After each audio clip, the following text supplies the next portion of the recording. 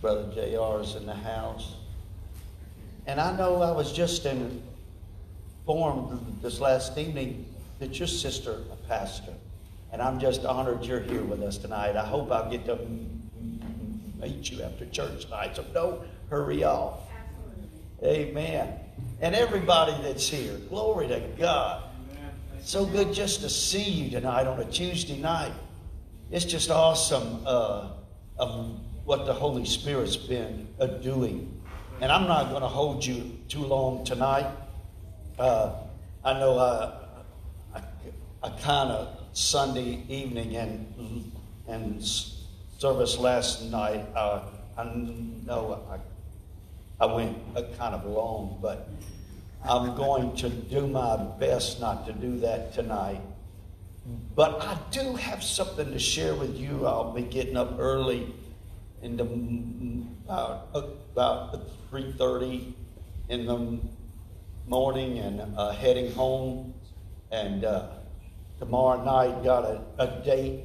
Uh, uh, uh tomorrow night got a date with my a girlfriend. All right. All right. And uh, she's the butter on my toast and the jam in my biscuit and I love that lady tonight and and tomorrow night we're going to see uh, we're driving into New Orleans tomorrow night and going to hear uh, going to hear casting crowns elevation worship and a Hillsong tomorrow night in New Orleans and so I just hope I make it safe in and out in New Orleans because that place is bad. Had somebody ask me the other day, I was in a Bible, they said, Do you ever go, and of course, if they're not from that area, they call it New Orleans.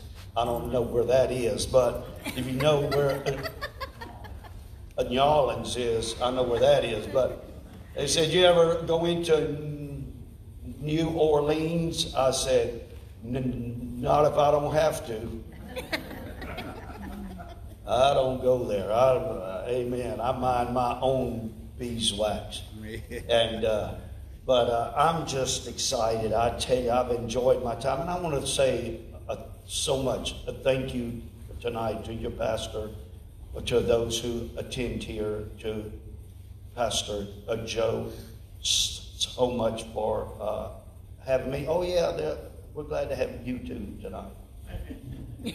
Uh, who you are. Yeah. but uh, I want to hasten to my assignment. I'm going to kind of slow down some tonight if I, I'm, I could tonight. And I want to preach a few moments of, on a subject entitled Faith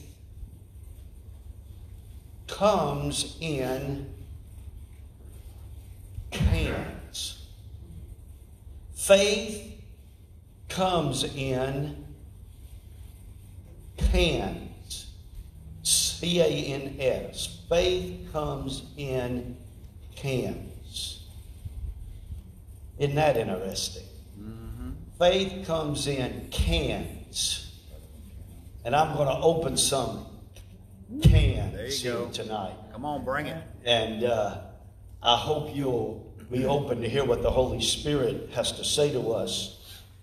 I believe that tonight that one of the most important factors to keep in mind as a born again Christian is that our growth and maturity in Christ it cannot go forward unless we understand that we are to be men and women of faith. Amen. Did y'all hear me tonight? Yes. yes. Amen. Amen. You're not going to go forward in your relationship with Jesus if you don't understand that you're supposed to be a person of faith. I like what it says in the book of Romans tonight, the, the first uh, chapter in the 17th verse. It says this For in it the righteousness of God is revealed from faith to faith. Did y'all see that tonight? For in it the righteousness of God is revealed from faith to faith, and as it is written,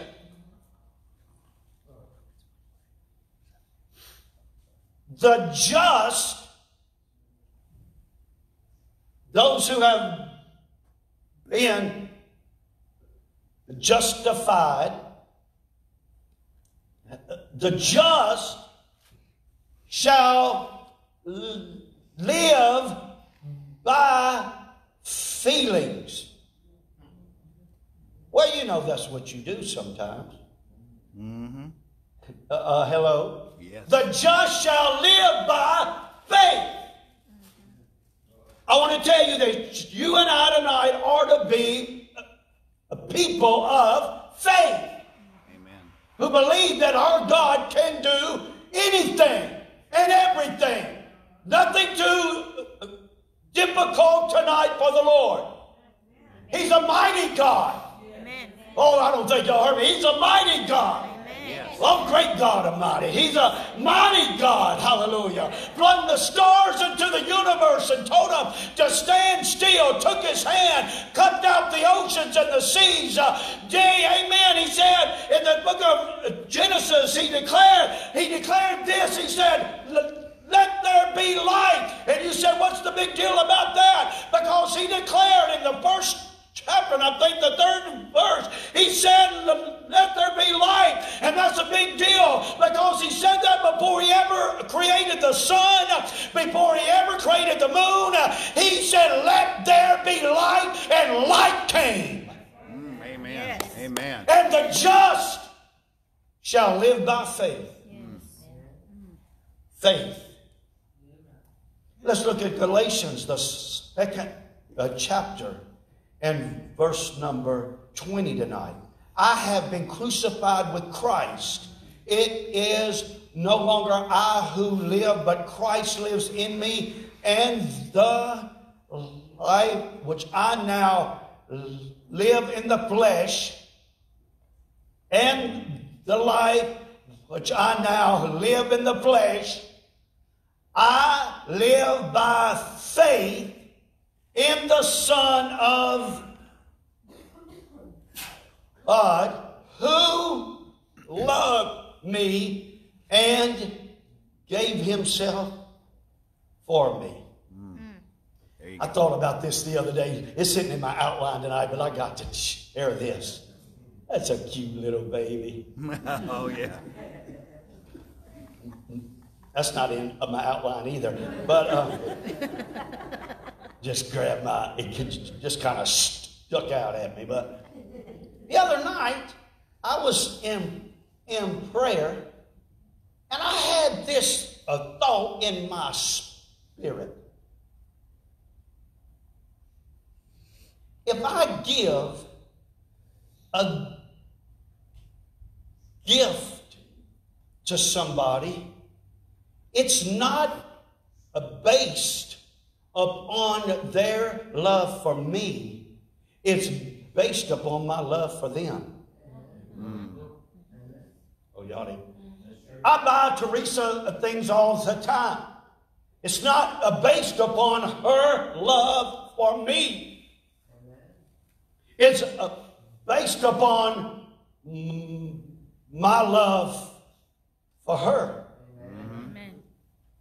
Amen? Amen. And, and, and there are so many uh, times that uh, Jesus, that he does so much for us. And it's not uh, based upon my love for him, but because I could never love him enough. Yes. Yes. And I want to tell you that you can't either. Yes. Yeah. I know you've heard that. I love you to the moon and back. No, well, I understand that. Am- am- Amen. But you can never love him enough. He shed his blood for you. He gave his life for you. He hung between heaven and earth. Amen. It's not uh, based upon your love for him tonight. It's uh, based upon his love for you. Yes. Yes. Amen. That's why He uh, blesses you the way He does, because it's based upon His love for you. Aren't you glad He loves us? Yes. Amen. And here's what I love about Him so much is His love does not have strings attached. Amen.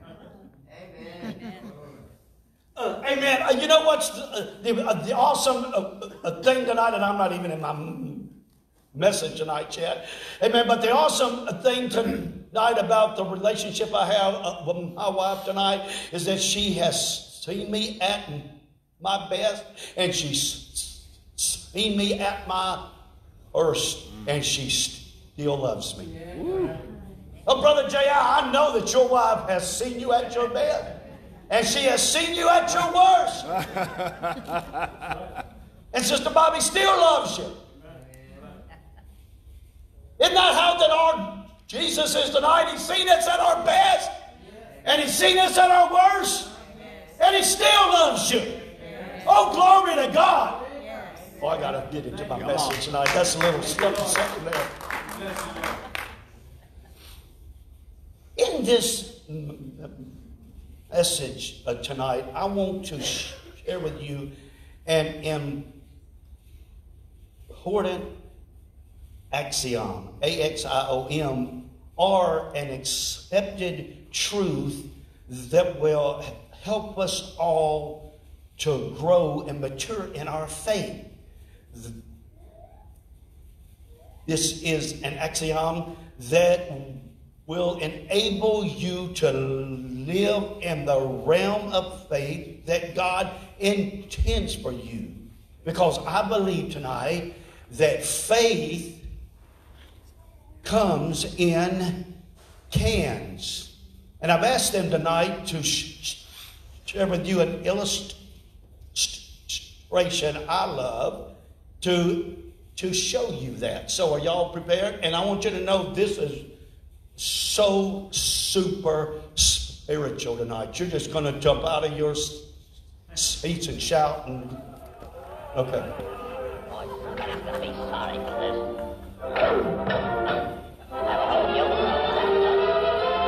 The shark? Oh, there's the spinach. Open sesame. Open sesame. There's the spinach. Comes out, eats it. All of a sudden, he becomes a superhuman. There's the muscles. Muscles. There's the, mu- there's the, the muscles, as he called them. He goes up and he knocks everybody out.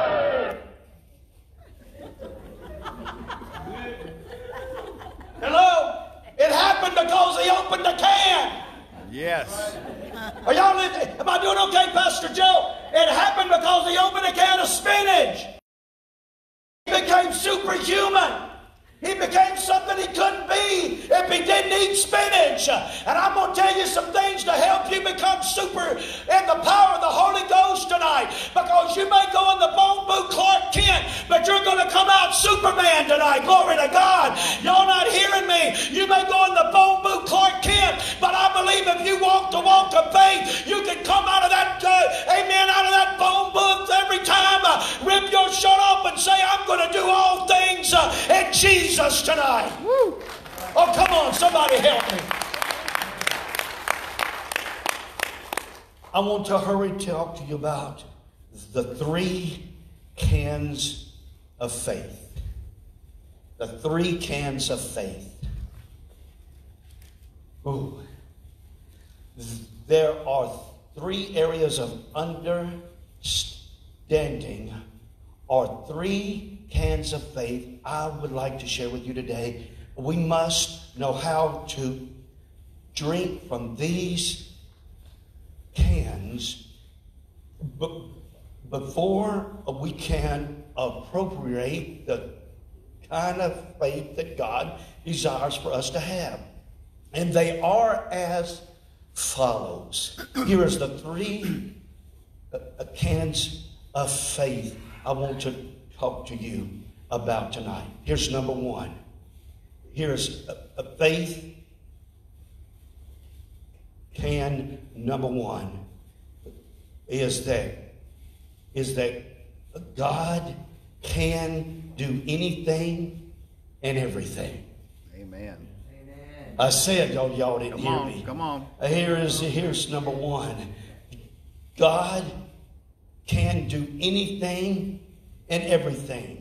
I love tonight what it says in the book of Jeremiah, the 32nd chapter, and the 17th verse says this Oh Lord, behold, you have made the heavens and the earth by your great power and outstretched arm.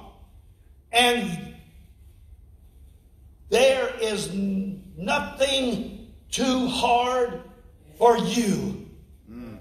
Oh, did y'all hear that tonight? Yes. Oh, Lord, behold, that you have made the heavens and the earth by your great power and outstretched arm, and there is nothing too hard for you. You may be sitting here tonight and thinking, but you don't know the thing I'm going through. But you don't know the thing that's happening in my home. But you don't know the thing I left as I came out of my home and closed the door behind me. I left some situations, some issues I left behind me. And, and man, but you don't know the thing that's going on in my marriage. You don't know the thing that's happening in my children tonight. I've come to tell you nothing is too hard for God. Even Jeremiah said, Nothing's difficult for you, God. No difficult situations that you're not able to, know, to, amen, to move into and get in the middle of them. Uh, the thing you need to allow to happen tonight is let Jesus get in the middle of your problem, uh, of your situation, uh, and understand nothing's too big for my God. And, even Jeremiah understood that. He said, Nothing's too hard for you. It may be hard for me tonight. It may be hard for Pastor Sandra. I'm not your answer. See, that's your problem. As you look to everybody else to solve your issues and solve your problems, uh, if you would just take the time to turn your eyes upon Jesus uh, and understand He's got my answers. Uh, he's the answer to my problems tonight. Uh, my daddy don't have my answer. My mama don't have my answer. They can bail me out for so long, uh, but I've got to get to a place I totally and rely upon God because I understand nothing's too hard for God. Do you believe that tonight? Can I get a better amen? Amen. Job is a remarkable example of someone who has withstood the trials and hardships of life and faith, who came forth with a faith that was more precious than gold. Here's what it says in the book of Job tonight, the uh, chapter number uh, 42 and verse number 2. He said this. Job said this after he lost everything, after he lost his sons, after he lost his daughters, after he lost his cattle, after he lost his sheep, after he lost everything he possessed. Amen. And he said in ashes, uh, sackcloth and ashes, uh, he's, he lost everything. Naked I came into this earth, uh, naked I go out of this earth. Uh, amen. He came, he was sitting there in the middle. He was a wealthy man that lost everything in a matter of hours. Uh, but in the middle of it all, here's what Job said. He said, I know uh, that you can do everything and that no purpose of yours can be withheld from you. He said, Job, in the middle of losing everything, he said, God, I may have lost everything, but I know you can do everything. Come on, somebody. I know what it is to lose everything except the clothes on my back because of a hurricane, amen, that's named uh, Katrina, and I lost everything. Teresa and I, amen, except the clothes on our back. I lost, I was down to just the clothes in a suitcase. But I'm telling you you today that God renewed and God restored and God replaced and God gave back because anytime the devil comes to kill, steal, and destroy, God said, I'm going to trump that. I've come that you might have life and life more abundant. And we're called to live a life of abundance. Amen. Amen.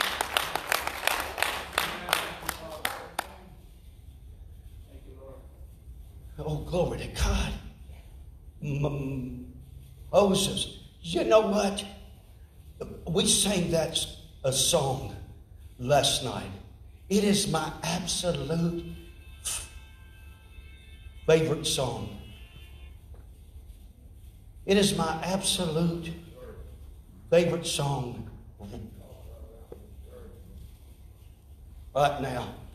It's my absolute favorite song right now. But there's a part in the song I can't sing. I, I can't force my. It, it, it, it's by elevation worship. The name of the song is Do It Again. But there's a part in there that says, He's never failed me yet. I cannot say that word yet. Mm. I don't sing that part of the song. It's like me saying to you, I haven't committed adultery on my wife yet. Mm. oh, I got the propensity to do it. But I haven't done. I'm not doing alcohol yet. I'm not, you know, I'm not drinking yet. I might. Not doing drugs yet. I might do it. And whenever that I see that, that song is the most awesome song. I love every part of that song, except when they say He's never failed me yet. Whenever I see that, there's something about me I just can't say the word yet because I'm at a place in my life at 64 years old. I've lived life a lot more than some of you, and I can tell you, testify. Amen. You see, in the old churches, they used to have testimony services, but they had to stop having them uh, because the saints who would take over the church uh, and start to preach and take up the go, y'all not helping me tonight. So they stopped having testimonies, and besides that, there wasn't many that had any. Oh, come on, help me, somebody. But I'm telling you tonight, I'm here to stand and tell you, uh, I can stand up and testify and tell you, God has never failed me, period. There's no yet, there's no maybe, there's no might. I wish I had five people that agreed with me to give God a praise in this house. God will not fail you. A pastor may fail you, a preacher may fail you, a prophet may fail you, a member of your family may fail you, but God is not going to fail you. Amen. Amen. Well, you say, well, Brother Man, I'm sure that's not what they had in mind. I don't care. I, I can't say it. If it means something else to you, great. Hallelujah. I can't say it. I can't say it. Because he doesn't fail. Ever. Never. You say, well, can you bank your life on that? I have. Hey, there you go. Mm-hmm. Come on. Mm-hmm. Already have. Hallelujah. Hallelujah. Already do. Every week we live by faith. Every week we live by faith. Thank God we stay busy, but thank God He opens doors. I leave it up to God. He's a great uh, booking agent. Hallelujah. I call them holy hookups. I glory to God. Amen. Pastor Sandra, he came to hear me at a church. Um, and and I, I, one short time after that in July, I was in a revival at her church. I met Brother Ben. I met Pastor Joe at Pastor Sandra's house. I'm here tonight because he came to hear me at Pastor Sandra's house. I went to Pastor Seven, amen, and he heard me at another church. I call them holy hookups. Uh, that's the way I operate our ministry. It's about divine connections. Uh, I got a text from somebody before church tonight, receiving an invitation to minister at their church. I'm telling you, it's about putting your faith in God and to know every minute of every hour God's got your back. Cans. Cans. M- Moses was another person who believed in God's ability to do anything and everything. As a result, he, he was a tremendous person of faith and victory who was responsible for leading God's people out of the bondage of Egypt and slavery. I like what it says in the book of Deuteronomy, the third chapter, in verse number 24. O Lord God, you have begun to show your servant your greatness in your mighty hand.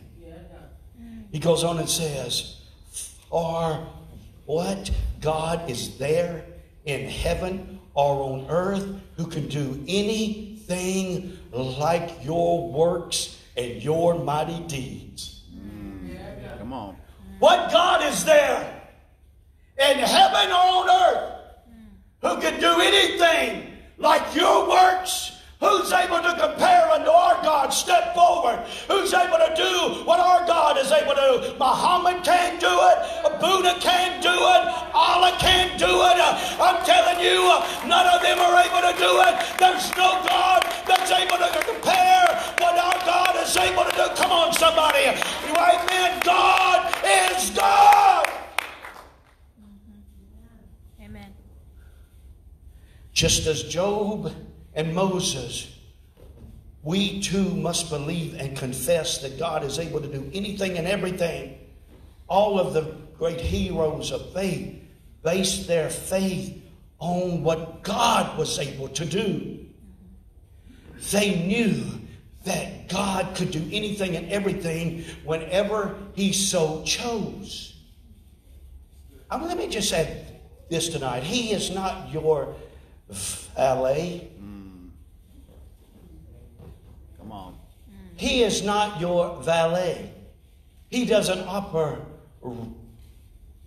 on your time frame and your timetable or your time schedule tonight. Well, they used to sing a song at old church. He's an on time God. Yes, He is. He's an on time God. Yes, He is. He may not come when you want Him, but, but He's always right on time. He's an on time God. Isn't that about God? Amen. Amen. That He's an on time God. I know that you want Him to be early. oh, I told somebody the other day the God I learned, and the God I have le- who I serve, is never late, but seldom early. Hello? But He's an on time God.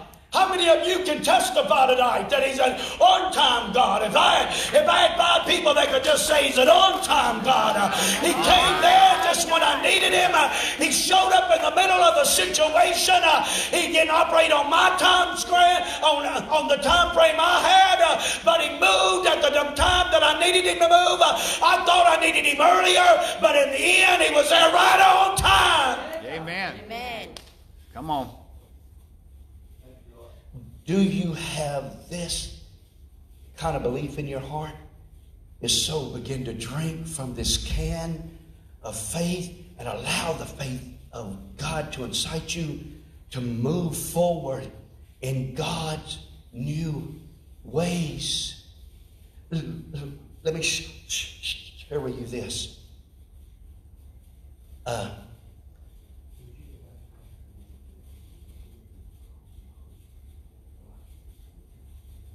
about about four about five months ago uh, teresa and i sold it's over there on my table brother about teresa and i sold personally into missions on a personal uh, level but uh.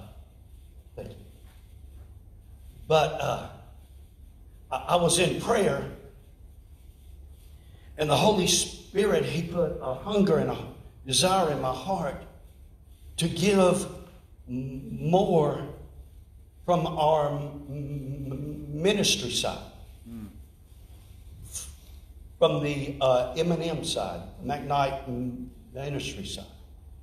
And so I began to pray, and um, in prayer, the Holy Spirit spoke one word to me. He said the word cups. And I said, What? You know how you do sometimes when the Holy Spirit speaks something that, uh, that you don't understand, you know, and you're like, What? and I'm like, What? He said, Cups. So I called the uh, people who design our, our uh, hats and our shirts that have been doing it for years.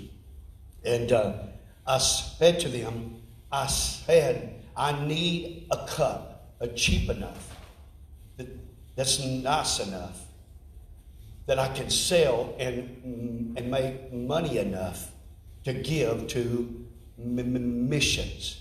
I didn't know who I was going to sow it into. I didn't know who I was giving it to. All I knew is I was supposed to start raising money for missions. I didn't know who to give it to. Didn't have a clue. In September, at the end of September of this year, I was invited to attend a conference in Houston called Empowerment Conference. John and Susan Norden uh, host that at their church, CT Church in Houston. And uh, so uh, he told me, whenever he saw me, he said, I'd like to eat a, a lunch with you tomorrow. Can you meet with me for lunch? And I said, sure. So uh, after he taught a session, uh, he said, let's have lunch together. I said, great. He said, he said, okay, they got us some sandwiches in a bag, and I want us to sit here and talk. I said, great. And he said that him and Susan, uh, his wife, had just purchased a 60 acre home. And it's called the Home of Hope in Houston. And it's for it's for children who have been involved in sex trafficking. He began to talk to me about it, about what their, their vision is.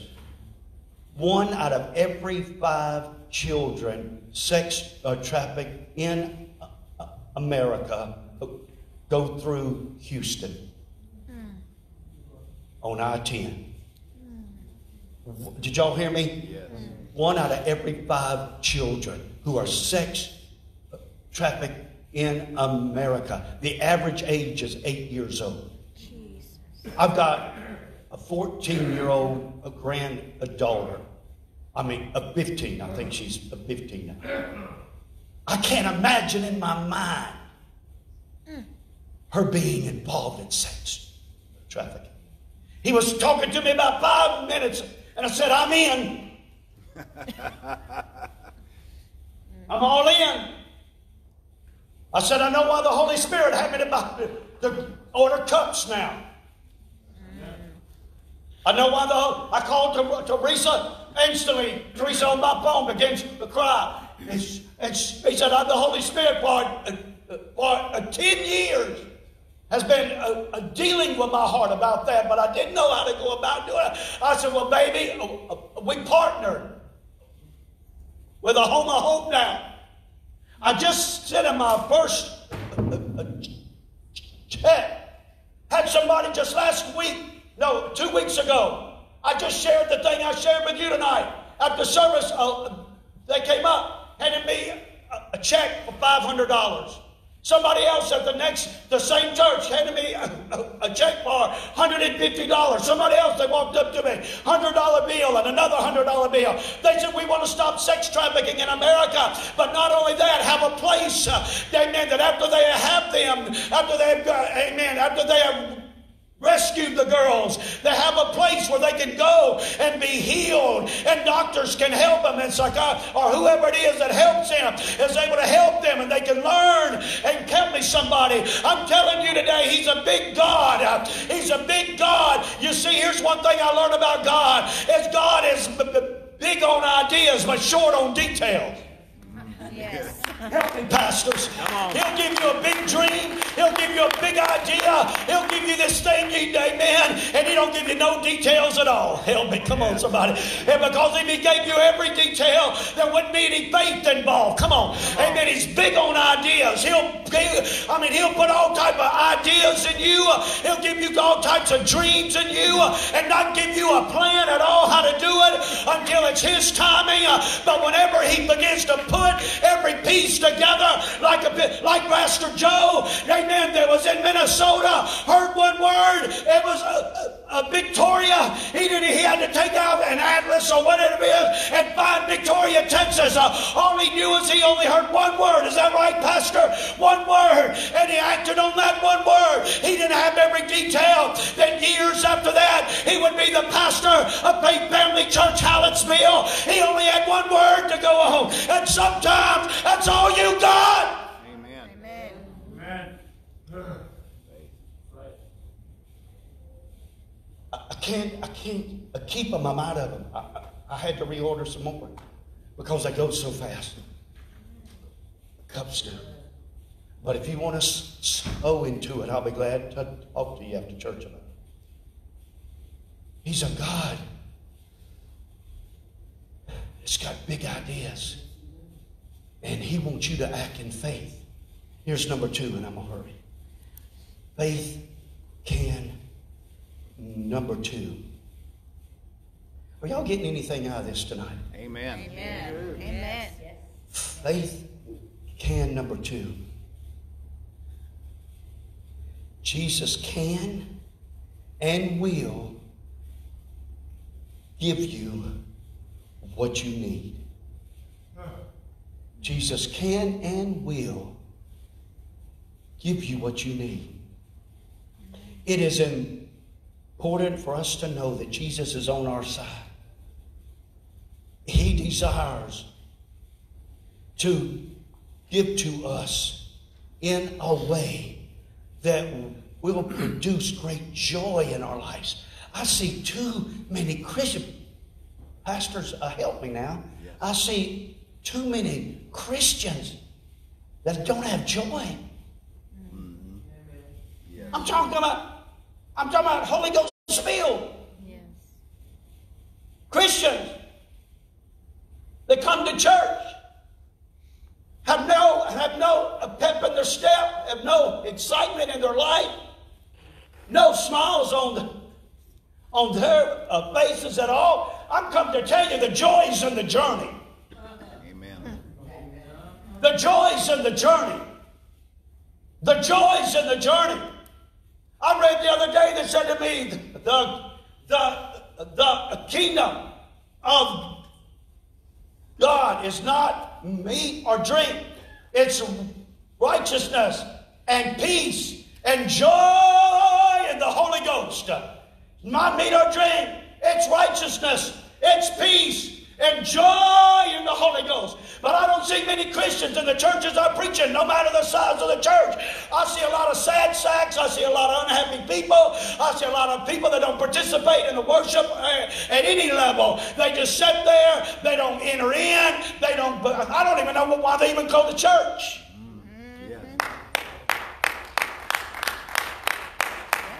Praise the Lord. Why in the world would you want to serve a Jesus who wasn't able to fill you up with joy? You see, your issue is I don't know why I'm. You see, your issue is, is that you're confused, and I don't mean that in a bad way tonight, but just listen to me.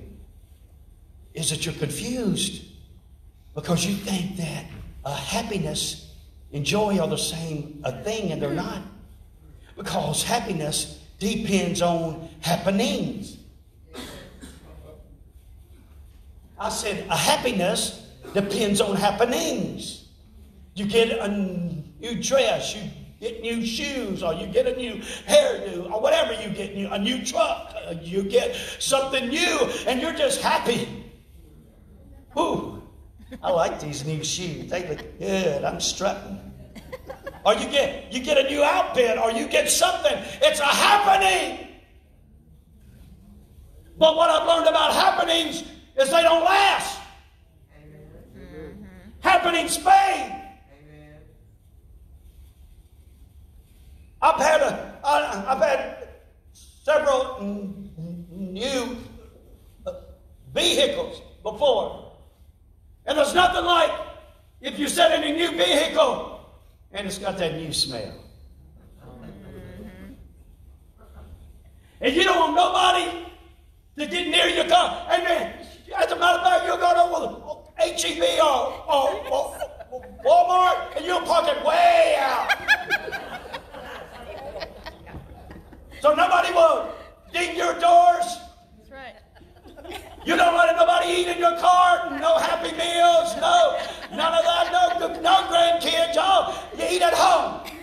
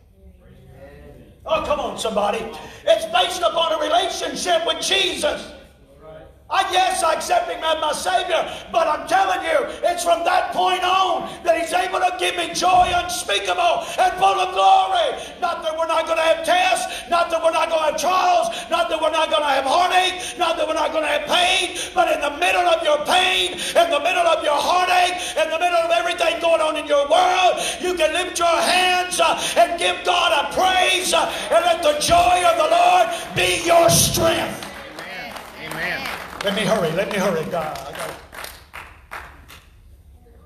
we must believe that Jesus can give to us whatever we have need of. John 16 and verse 23 says this. And in that day you shall ask me no shall ask me nothing. Most assuredly I say to you, whatever you ask the Father in my name, he will give it to you.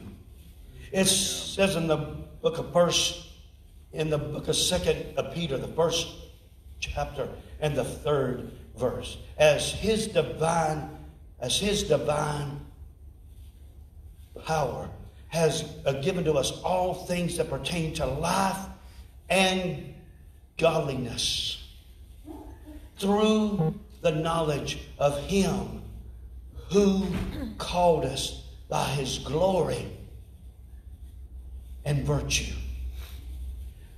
I had some other things I was going to say under that can, but let me just go on to number three. Faith can number three is my favorite. It's my all time favorite. You can do all things through Christ. Praise God. Amen. Yes, amen. You can do all things through Christ. Mm. I want you to know that now that we understand that God can do anything and everything, and that Jesus desires to minister her to us in faith by giving to us those things we have need of, we must understand also that we can do whatever He has asked or commissioned us to do. Philippians 4:13. My all-time favorite scripture.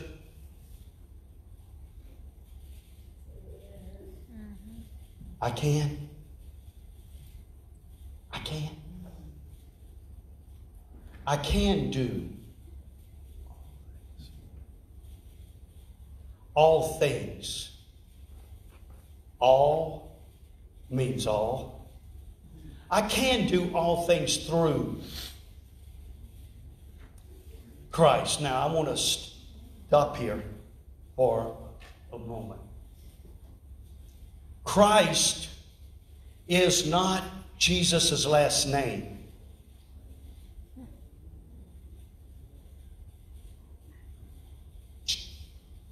Jesus is his name, and Christ is the office he functioned in. Mm. Jesus is his name, and Christ is his office. The, the word Christ, it means the anointed one. The anointed one. I'm going to say something I want you to hear tonight. I want you to listen. When Jesus, he, he, he died, I'm going to, I'm going to blow your uh, mind with, tonight with something. Don't throw it out. Chew on it. Whenever J- Jesus died, he ascended to the, the Bible says, he sits at the right hand of the Father. Is that right? When Jesus died or rose on the third day, he ascended to the right hand of the Father, but Christ remained in the earth. Uh, uh, chew on it a minute. When Jesus died, he arose on the third day, ascended to the right hand of the Father. He sat on the right hand of the Father, but Christ remained in the earth until he could find another body to flow through. That happened in Acts chapter 2. Oh, y'all not get. You say, well, I've never heard that before. Or do, oh, well, don't throw it out because you haven't. Just chew on it a minute. Because you amen, because you got to understand the word Christ means the anointed one. It says, I can do all things through the anointing. I can do all things through, the, through the anointed one who strengthens me. Everything the church is able to do today is through the power of the Holy Ghost. Amen. Yes. Well, who is the power of the Holy Ghost? Is he not the anointed? Is he not the anointing? Come on. Uh, uh, uh, you say, Brother McKnight, hold on a minute. No, listen to me. If you go to the book of St. Luke today,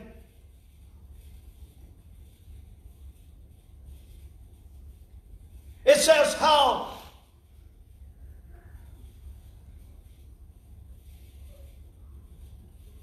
St. Luke 18, uh, how God, let me find it. Let me find it because y'all looking at me like, what? Oh. Okay. St. Luke 4 is the, Jesus said, the Spirit of the Lord is upon me. The Spirit of the Lord is upon me. The Spirit of the Lord is upon me. Because, if you look up that word because in the, the Greek language tonight, it is defined as the reason for. The Spirit of the Lord is upon me because He hath anointed me. Is that what it says? It says the Spirit of the Lord is a. Amen. If you'll go to the book of. Don't go there. I'll, in the book of Samuel,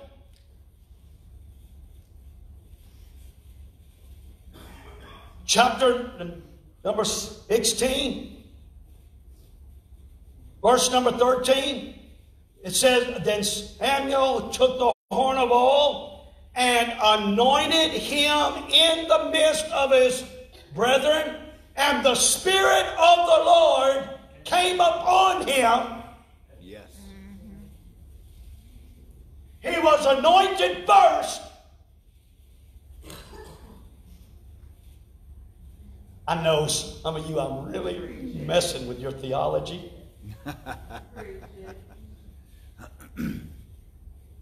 but we get the cart before the horse. Or the horse before the cart, ever how you say it. You see, I always believe, but look what the scripture said. Even Jesus says, The Spirit of the Lord is upon me. I've got the Spirit of the Lord upon me, and here is the Reason why? Because I'm anointed. I'm anointed. The Spirit is upon me because I'm anointed. Look what it says about uh, David. It says, after Samuel anointed him with oil, from that day forward, the Spirit of the Lord came upon him.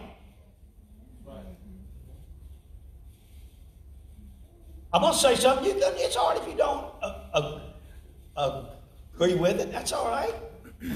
Amen. Because you don't, it, uh, don't mean it's heresy. That's right. Come on. Just listen and just chew on it. Because I hear, I hear things from some, some uh, preachers I like a lot.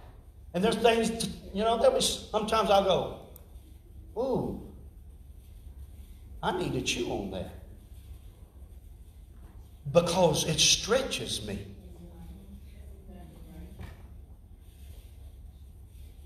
And I wanted you to know tonight if the church, if it can ever understand that they are the anointed. Yes. Praise God. If they can ever understand, I grew up, see, I grew up in old church. Old church. I know some of you, you don't have a clue about that, but I grew up in an old church where the only person in the church that was anointed, it was the pastor. And, and it was almost, it was, it was almost a, a God a complex. Mm. He's anointed. And then they would, and then they had their all time, every preacher had their all time favorite scripture. It was like their six shooter. Touch not God's anointing and do his prophets no harm. Amen. Help me, okay, Pastor Joe. Amen. I was like their six shooter. You couldn't say nothing. You couldn't. You, you better. But then I got a real revelation. The pastor, he wasn't the only one anointed. I got a real revelation. I was anointed. Praise God. I may not, but uh, I don't have time to get into this tonight. I really don't. But come on. It was a different anointing. What? Okay. All right. I'll slide. It was a. I'll get out, Joe. It was a different anointing. He was anointed a pastor. I was anointed to do something else. There you That's right. go. That's right. Mm-hmm. You see, our problem today, I don't have time to get into this tonight. Uh, I've done opened up a can. Uh, our problem today in the ch- church is, is, that, is there are unhappy Christians who are in the church because they're operating outside of their anointing. Mm. I've walked into some churches that who didn't know I have a clue who I was. And their greeters were not anointed. Mm. You know why I knew that? Because when you walked in, they didn't smile and they had bad breath. if you're going to be a greeter, you don't need to have bad breath. Amen. Oh, I know that y'all can't handle the truth tonight. Y'all like, Come what? on. Come on. Say it like and they didn't have any joy. If you're going to have, if you're going to open your doors uh, to the community, then you better have people at your door that's going to smile at them and tell them and really make them feel a part of the family. Amen. right. Amen. Amen. Come on. Yeah. I pastored, I pastored a church, and I always the the most of every uh, church I pastored, it was a, it was a, a multi racial, and I had a a young African American lady in my church who come down the aisle on a Sunday. I saw her on a Sunday night, and she, she come down the aisle, and I I saw her, sweet lady, and I walked down, and I said, "Hey, what the." You know, how you doing tonight? You know, just make a casual conversation. She says, you know, Pastor, I know what I'm going to do now in the church. I said, oh, is that right? Yes, I know what I'm going to do. I have found my calling. I said, well, what's that? He said, I'm going to sing on the praise team. I said, no, you're not.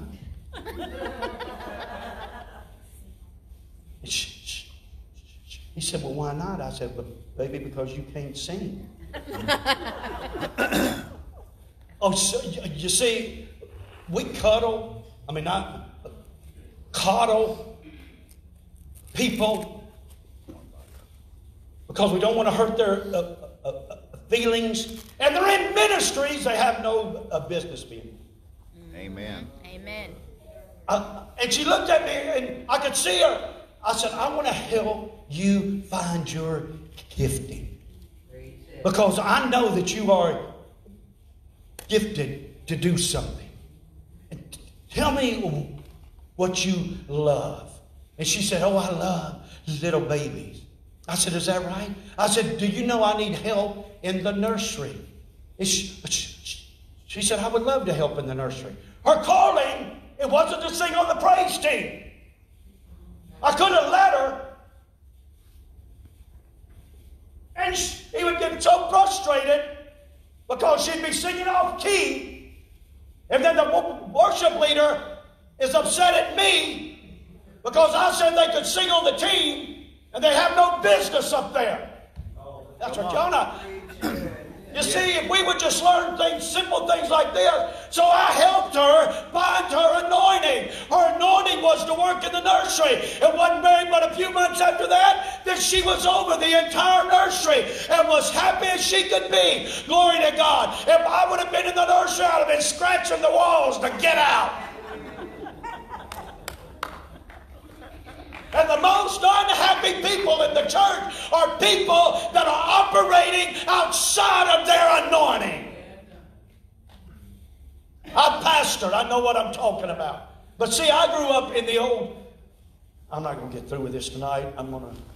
You see, I grew up in old church. If there was somebody who came to you and they said to you, I feel like I'm supposed to leave the ch- uh, ch- church. You know what you did? You gave them a job. oh, yeah. I did it. I know what I'm talking about. I would make them, I would put a guilt a, a complex on them. Man, I sure need somebody to help me in this department or in that apartment. And you know what they would do? Is they would do it out of guilt. It isn't they were anointed to do it. And you know, I want everybody to listen to me. Every pastor, listen to me. I'm not, I can tell you this because I know for a fact. I've been in a full time ministry over 35 years. I'm no a novice at this. I've uh, pastored five uh, churches. I know what I'm talking about. The most unhappy people, the most miserable people in any church are the people who are operating outside of their anointing. They're doing a job where there's just nobody else to do it. And they have an attitude about it. Yep. That's right. See it all the time. And they're doing it out of guilt. Because they don't want to, they don't want to disappoint uh, uh, Pastor Sandra. Because they love her so much. And they don't want to disappoint the junior because they love him so much. Hello? If you could ever learn, I want everybody to listen. You know what you need to do? Is you need to get in your lane. Get in your lane. Amen. And when you get in your lane, that's where you're anointed. That's where you will flow in your greatest anointing. You can, here's the third can. I can do all things through Christ, which strengthens me. I can, you know, I'm not going to, hmm. oh, that's good. I can do all things through Christ, which strengthens me. I can do all things through Christ, which strengthens me. I cannot uh, do it in myself. I can only uh, do it through Christ. I can only do it through Christ's anointing. I can only do it through Him. I can't do it through my talent. I can't do it through my ability. I can only do it through Christ. If I don't have His anointing, I love what I love what uh, Charles uh, Haddon Spurgeon said. He said these words: "Apart from the Spirit, nothing." It's when we try to create it in our flesh that we're frustrated. I know what it is. Can I say this? I know what it is to try my best to start programs in my church.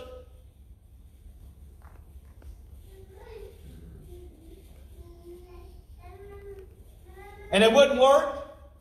I couldn't get the help. and I'd get angry. Oh, come on, somebody please be honest tonight. I'd get upset because nobody would volunteer, and I know they should have been doing it.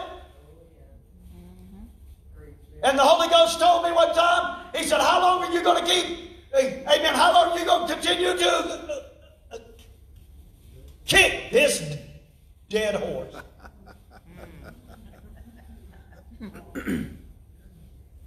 and so I got up on a Sunday.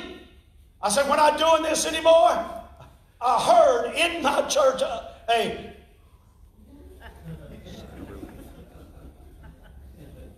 a pastor's not going to uh, beat us up anymore because there's no volunteers. And smiling. I love you, but you you know you should be helping in that department. You, I love you. Yeah. but you low down rotten scanner. You know you're supposed to be helping in Royal Rangers or helping in girls' clubs or helping. Find your anointing. You can do all things to Christ. Look, let me tell you this. I'm to be through in five, in five minutes. I was 18 years old, a hippie, a, a dope smoking, freaky hippie, had hair down to here, wore, wore a bell bottoms and flip flops. and a, a, a muscle shirt with no muscles. a hippie. Listening to, listen to dun, dun, dun, a, a Grand Funk Railroad, Led Zeppelin, smoking dope. Didn't have no intention. I was angry at everybody. I was mad at everybody because I had a speech impediment. I was mad at my two sisters and my two brothers because, because the, of the fact that they didn't stutter and I did. And I was mad at them. I didn't want to have nothing to do with them because I got cheated in life.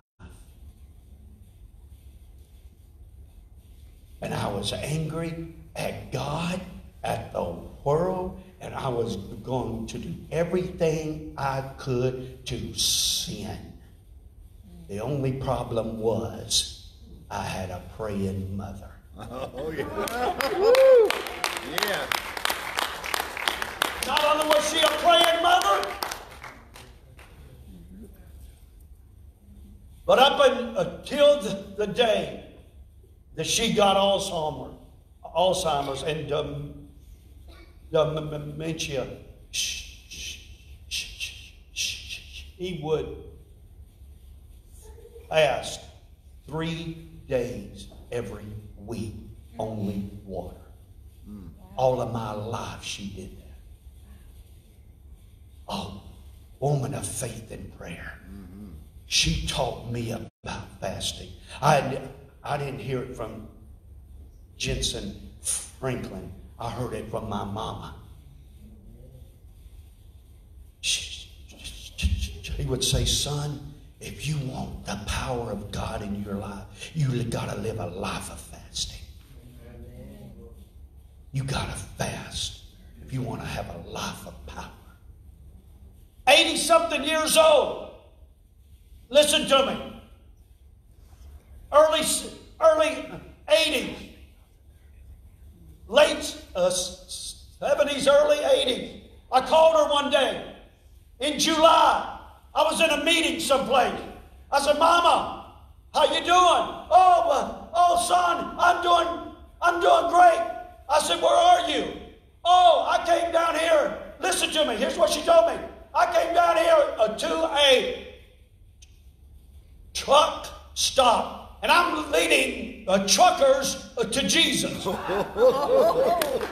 said, Mama, you, it's July.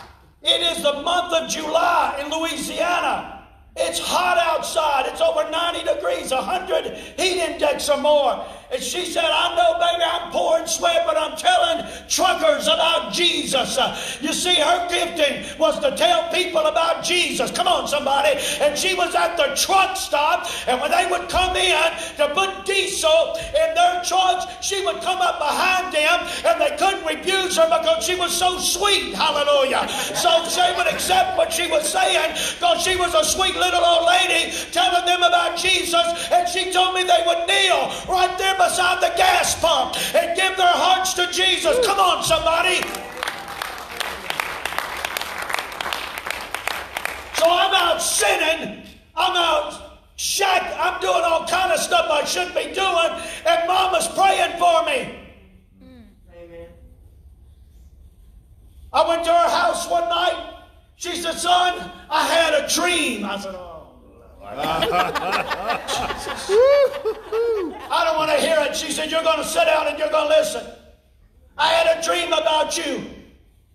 She said, I saw a horse in a big, in a, a, a, a big open area that's got uh, arena. Thank you, thank you very much. I saw a horse in an arena. Oh, he was a uh, he was a, a bucking, a, wild stallion. He's doing this, his head is. Nobody was able to tame him. A, a bucking stallion. And the Lord spoke to me in that dream. And he said, That's your son Steve. I've called, I've laid my hand up on him. I've called him to preach. And he's trying to buck away from it. He's a bucking stallion, but I'm about to tame him. Woo! I said to her, I said, I've heard enough. I got up and walked out. Every chance she, she would tell me to come to her house. I'm telling you, I wasn't a Christian, so this is how sinners sin. Y'all know that? Sinners sin. I picked her up one day. I had, I, I, Lord, I need to quit. I picked her up one day, but I won't be here anymore. But, you know, for well, I hope I'll be asked sometime to come back. But anyway, uh, I picked her up one day. I had a 1966 blue Volkswagen. I knew it was blue because I spray painted it blue. Hippie. I picked her up. I, I took her someplace she came back the whole time. Jesus is, Jesus that, Jesus is, Jesus that. And she got out of, of my car. And I hate to tell you, I did this, but I was a bucking stallion. And I was mad at my mother and everybody else. And my mother, she gets out of my car after she had been preaching to me everywhere. She went TG and Y. I know that y'all don't know what it a TG&Y is, but uh, I'm talking old school stuff here. Amen. Montgomery Ward. Y'all don't know what I'm talking about, but anyway. And I took it all over the place, and, she, and I got sick of it. And I, I, I looked at her, I said, Get. I pulled up right out of her house. I said, Get out of my car. I said, I hate you. I hate you. I don't have nothing else to do with you. That was sin talking to her, not Steve. Y'all hearing me? Yes. And I said, You get out of my car. She got out of the and I left, and as she's headed up to the doorsteps, I shouted, I hate you. And she turned around and said, You may hate me, but I love you, and you're gonna get saved.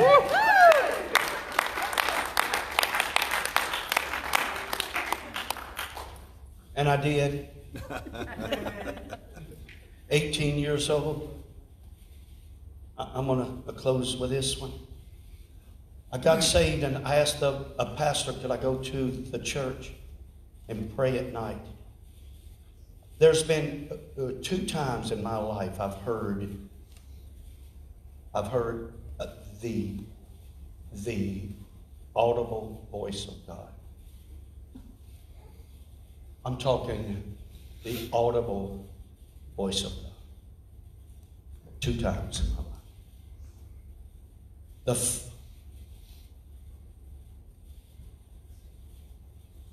first time it was when I was 18 years old.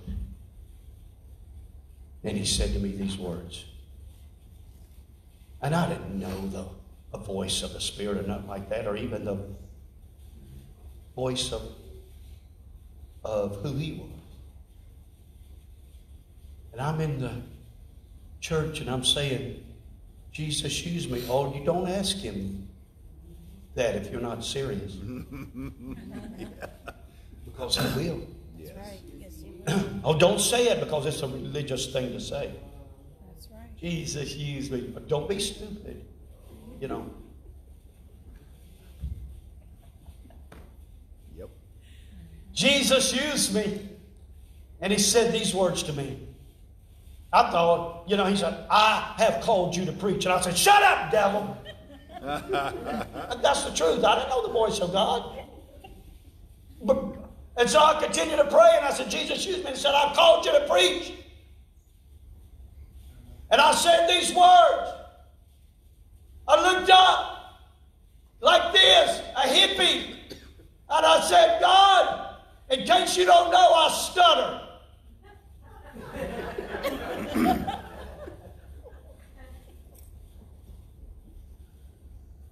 And st- stutterers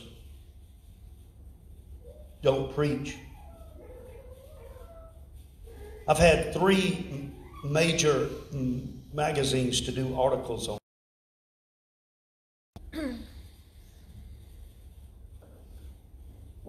One of the articles that a, a magazine it did, it was entitled "Stutterers Can't Preach," right? Wrong. Charisma uh, has done articles on me. And I'm amazed at the fact that he uses me. Stutter. I looked up to heaven and I said, I stutter, God, I can't preach. And he said to me these words. I'll never forget them as long as I live. Can y'all get some music ready, please? He said to me these words. He said, If you will do what I have called you to do, I will anoint you, and my people shall know I have called you.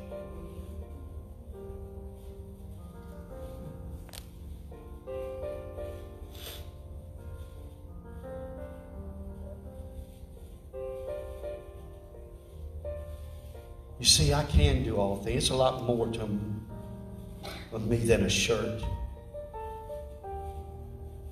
It says I can do all things. It's a lot more to me than that. You know what really blesses me is whenever is whenever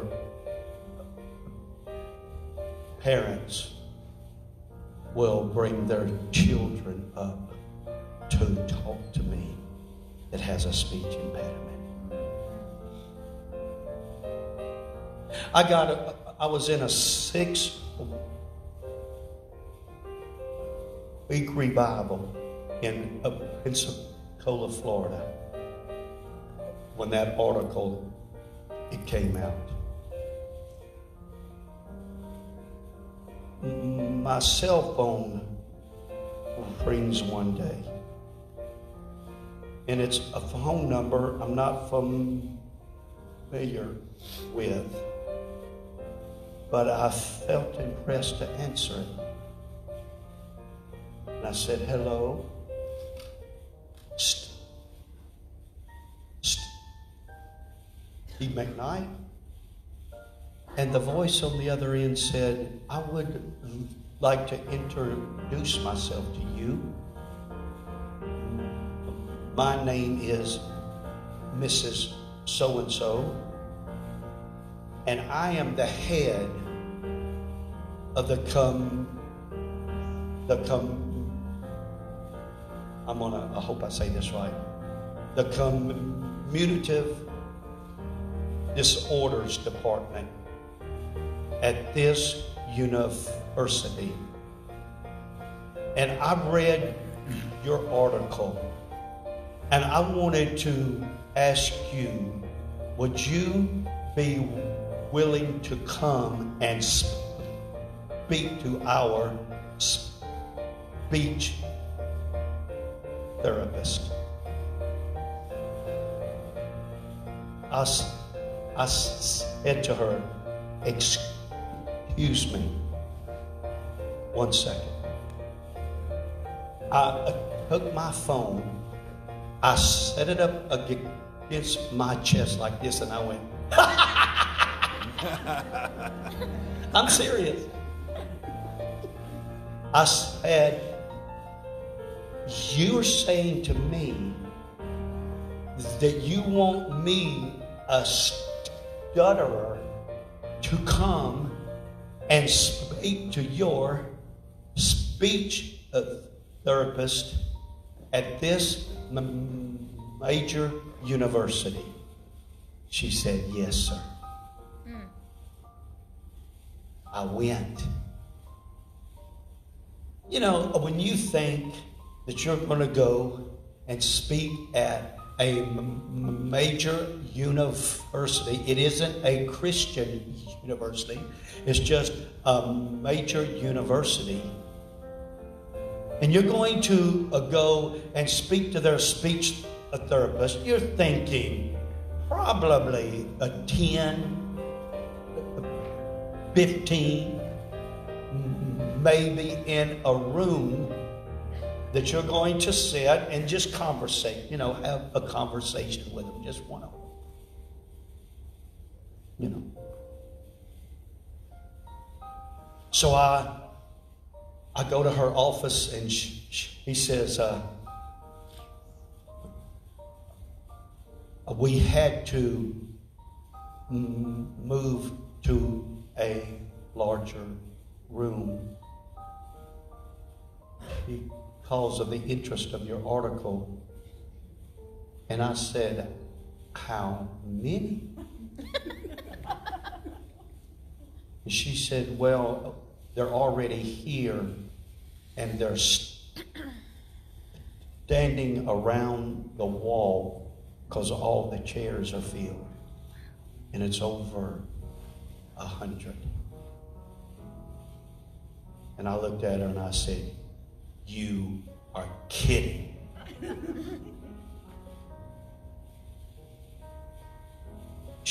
She said, You have an hour to speak. And because that we are not a Christian university, I'm going to introduce you as a motivational speaker.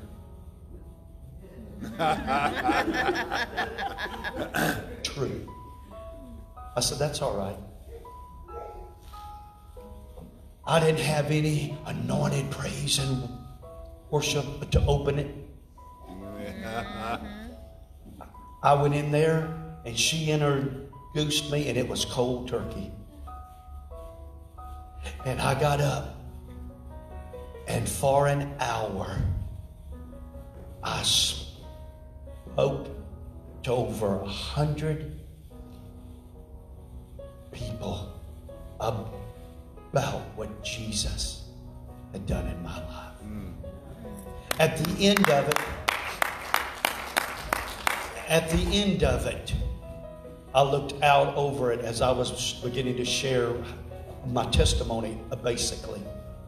I saw tears all over the place. At the end of it, I said to them, I said, I'm not able to uh, hand out my uh, testimony because this is not a Christian university. But if you would like to pick up a copy, they're up here as you go out the door.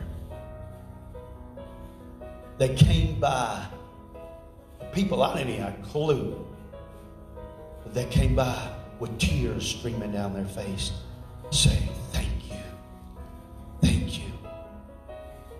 And I wanted to say, I'm just an ex hippie. who found Jesus. Everybody stand. I'm through. I wanted you to know tonight. I don't care who you are or how old you are. You can do all things through Christ which strengthens. The, the great preacher Smith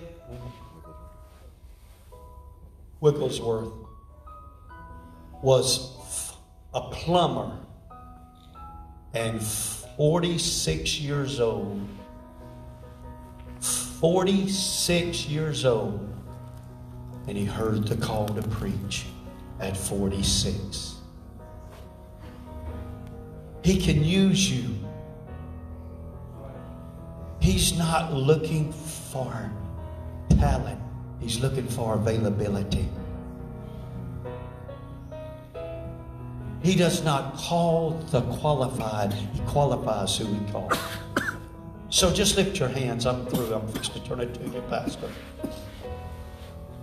Father, tonight, I understand that faith comes in cans. Faith comes in cans. And I can do all things.